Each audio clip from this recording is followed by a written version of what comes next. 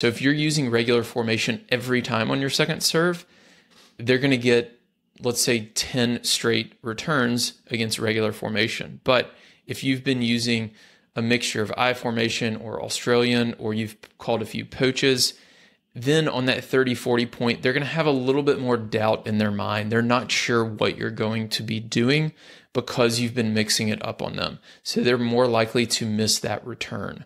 So that's why I'd encourage you, if you have a medium or strong second serve, to call more poaches, to use more uh, formations on some of those lower risk points because it'll pay off on the kind of high risk points when there's a lot of pressure uh, in the form of missed returns or potentially volleys for your net player. So that really adds a lot of pressure uh, to the opponent. You do not want to allow the opponent to get into a rhythm when they're returning, especially